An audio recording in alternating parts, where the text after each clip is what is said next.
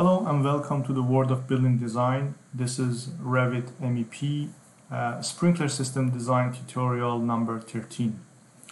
Uh, in this tutorial I would like to uh, focus on two subjects. One is adding some more accessories to our sprinkler line and, um, and the model that we have developed so far.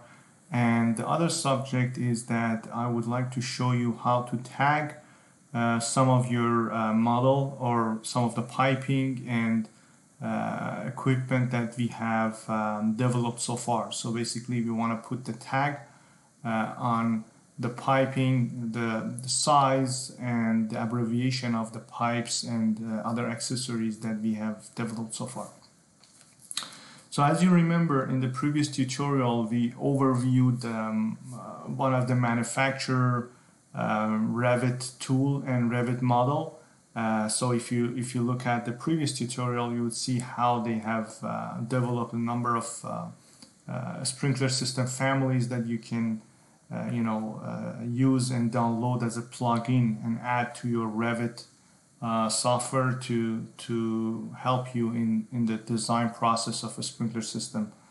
Um, so, okay, so going back, um, if you remember, I go back to our 3D view again just to show you what we developed in terms of the uh, riser valve assemblies and uh, other accessories coming with it we downloaded it from the Viking website, added to to our pipeline on the riser side.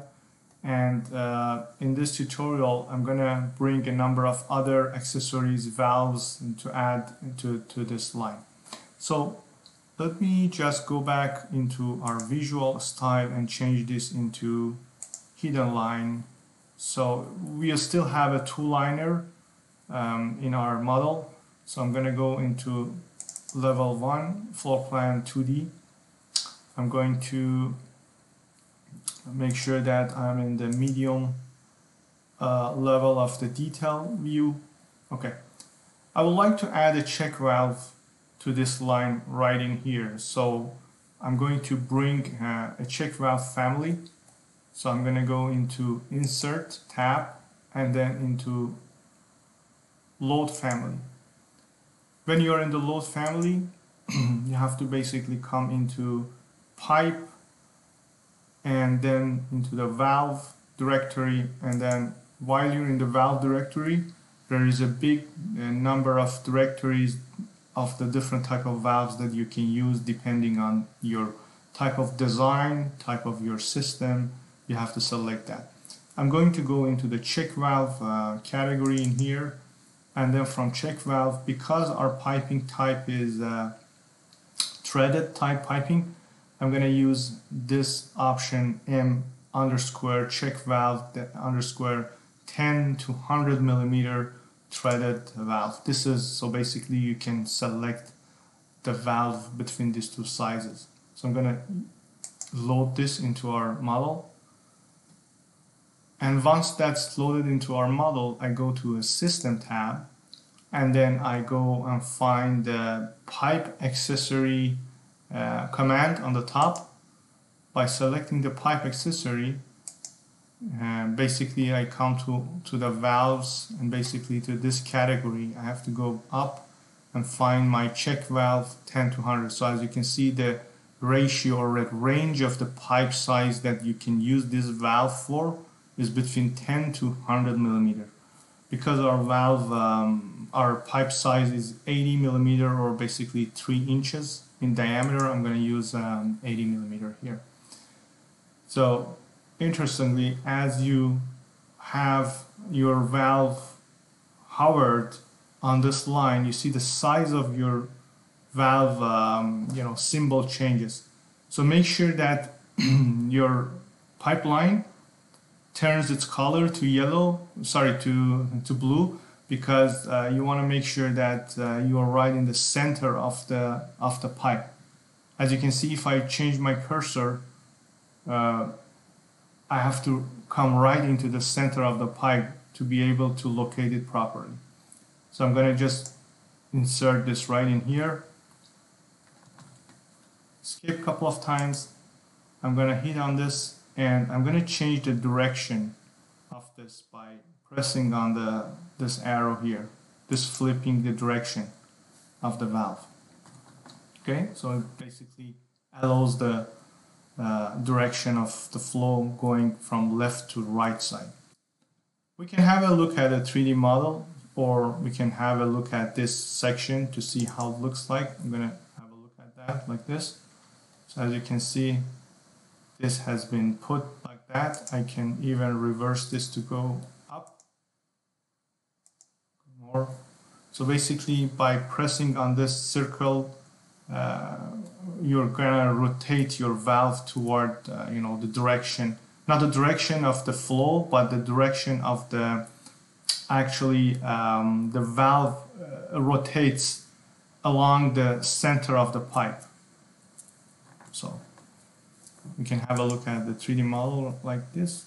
So you see that we have uh, located the valve right in here so I'm going to show you by clicking you can again change the direction by pressing on this on this circle okay? So we have put a check valve on this line. Again this is just for demonstration purpose. We want to see how we have to do the modeling on the uh, on the Revit for the actual design in terms of why we have to use check valve or what is the engineering practice I'm going to record different sets of training in the future for that perspective. Okay, go back to the level one. I would like to add um, one more valve right in here. This line was a 50 millimeter line that we took as a branch. So I'm going to go into my um, pipe accessory again. Uh, I don't want a check valve. In this case. I want to find a gate valve. Um, okay, I'm going to use a 50 millimeter gate valve because it is a 50 millimeter line here. And I'm going to use it right before this um, this side wall sprinkler head. So I'm going to go right into the middle. As you can see while I'm here this valve is horizontal but as I'm coming right onto the pipeline the direction of the valve changes automatically by itself. So it's it's very interesting feature in the in the Revit. So while I'm right here, I'm just gonna left click and locate that valve as it is. And also I'm gonna go to a 3D model to see how that valve looks like. So I'm gonna go back into where my line is so basically that's the that's the valve that we located in here. It's a gate valve. I'm gonna select this and then because I want to make the the actual um, valve um, accessible for you know operation I want to rotate this downward so I'm gonna press on this rotate button actually I'm gonna do that again on the other one so yeah, basically we can rotate it downward so it can be accessible from below in the room. So this is our side sidewall sprinkler head. So basically we located a number of valves uh, into our line. You can continue doing that as necessary for the project, for any project you're developing. Um, so that's basically you can add any other accessory or fitting as, as necessary. Um, the other thing that we want to look at is uh, creating some form of tag. So I want to first change my design or my pipe or uh, the model into a two-liner. So I'm going to change the detail view. So this is the command. Let's go back. Uh, this is detail level view. I'm going to change from medium to fine. When I change that to fine, basically everything is changed to two liners. So it's a realistic view of the pipe with two liners, with the, with the T's and all the fittings as a two line. And now uh, for tagging the system, I would like to come up here into this symbol that it says tag by category. You can find this into annotative as well in the annotative tab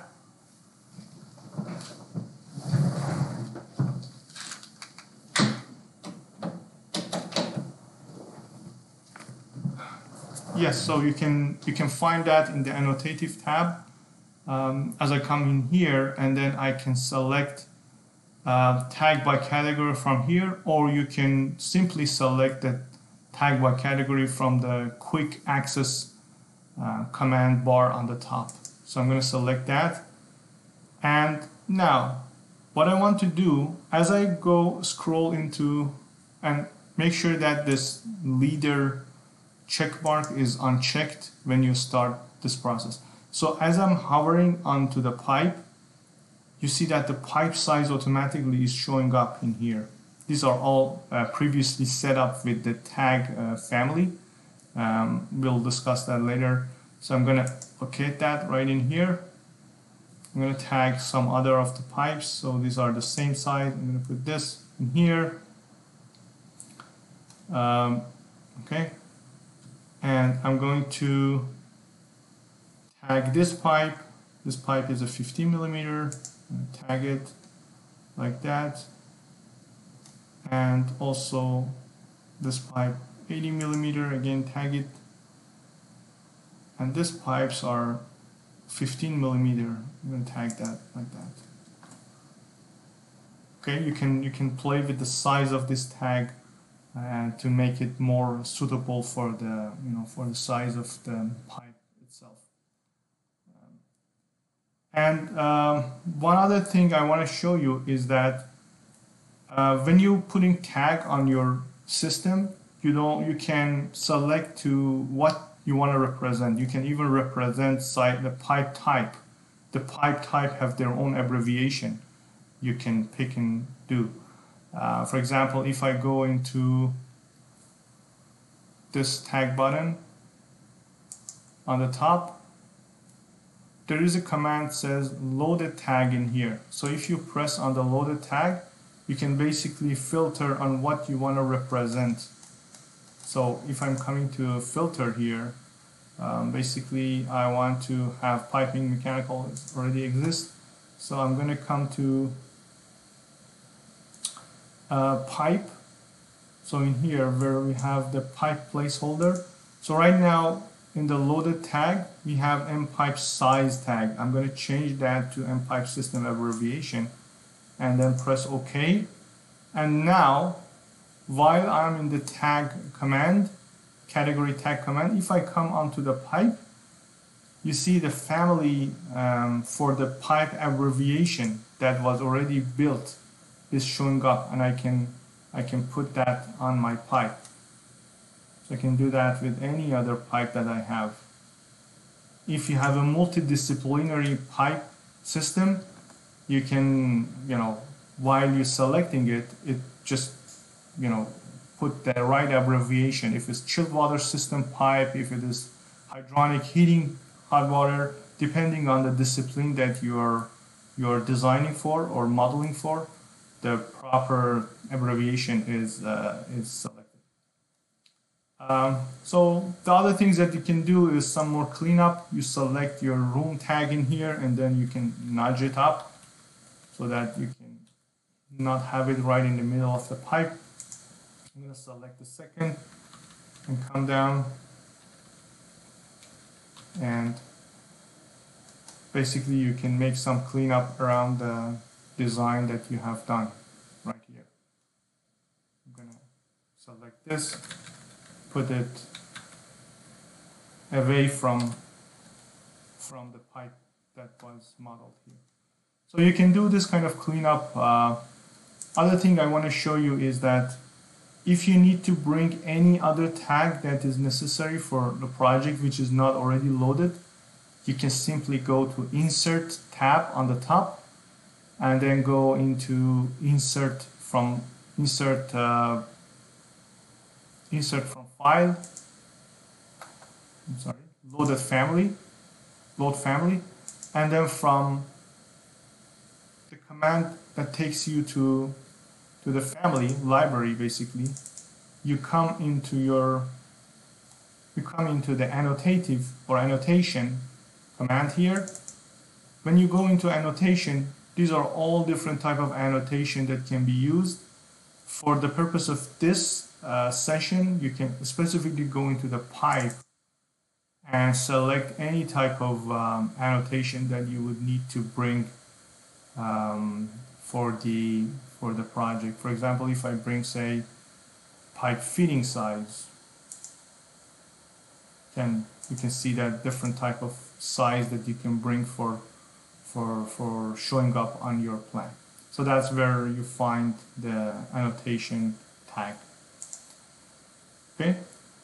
Thank you very much for watching this video. If you like this form of videos, please do not forget to subscribe and also press on the notification button so you can see the new tutorial as soon as they are posted.